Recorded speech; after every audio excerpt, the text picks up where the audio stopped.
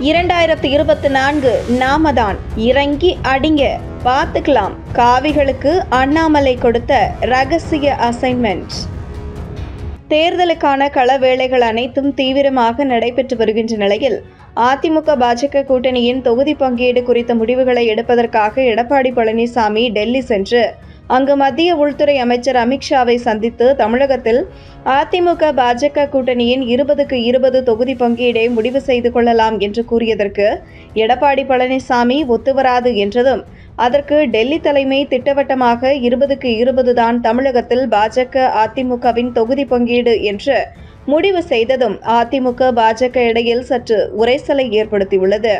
இப்படி அதிமுக பாஜகவின் தொகுதி பங்கீடு விவகாரம் சுமூகமாக முடியாத காரணத்தினால் அதிமுக பாஜக கூட்டணி முறியும் சூழல் ஏற்படலாம் என்ற ஒரு கிசுகிசுவும் அரசியல் வட்டாரங்களின் நிலைமை வருகிறது. இதனால் அதிமுக பாஜகவின் மோதல் முக்கிய கட்டத்தை எட்டி உள்ளது.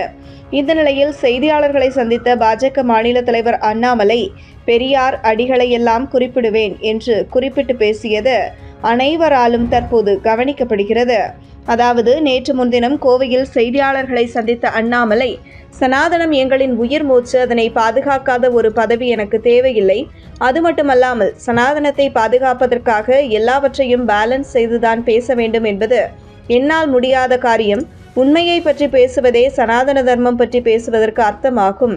மேலும் பெரியார் அடி வாங்கியதை குறித்தும் கருத்துக்களை முன்வைப்பேன் என்று தனது நிலைப்பாட்டை உறுதிப்படுத்தினார். இப்படி அண்ணாமலை தனது கண்டனத்தையும் அதிமுக மீது இருக்கும் கோபத்தையும் வெளிப்படுத்தியதற்கு காரணமாக டெல்லி தலைமை எடப்பாடி பழனிசாமியிடம் திட்டவட்டமாக கூறிய கருத்துதான் என்று சில தகவல்கள் கசிக்கின்றன. இதனை தற்போது எடப்பாடி பழனிசாமியும் அவரது ஆதரவாளர்களின் கையில் எடுத்து பேசுவதால் இனி பின்வாங்க போவதில்லை. இதற்கு மேலும் பெரியார் சனாதனம் குறித்து வாங்கிய அடியை பற்றி இன்னும் அதிகமாக பேசுவேன் என்றும் அண்ணாமலை தெரிவித்துள்ளார். மேலும் பேசிய அண்ணாமலை அதிமுகவிடம் அடிமையாக இருந்து கொண்டு என்னால் செயல்பட முடியாது. சனாதனத்திற்கு எதிரான கருத்துகள் முன்வைக்கப்பட்டால் அதனை பார்த்து கொண்டு சும்மா இருக்க முடியாது. முதலில் சனாதன தர்மமே அதற்கு பிறகுதான் கட்சி அதற்கு பிறகுதான் கூட்டணி தேர்தல் எல்லாம் என்று தனது கருத்தை காட்டமாக முன்வைத்தார். மேலும் அண்ணாமலையை அவரது இல்லத்தில் பாஜக அமைப்பு செயலாளர் கேசவ விநாயகம் சந்தித்தது. அதன் பின்னர் பாஜக முக்கிய நிர்வாகியான நாராயணன் திருப்பதி கூட்டணி குறித்து தலைமைதான் முடிவு செய்யும் என்று கூறியது வேறு குறிப்பிடத்தக்கது. மேலும் கமலாலயத்தின் முக்கிய நிர்வாகிகளிடம் அண்ணாமலை எது வந்தாலும் பார்த்து கொள்ளலாம்.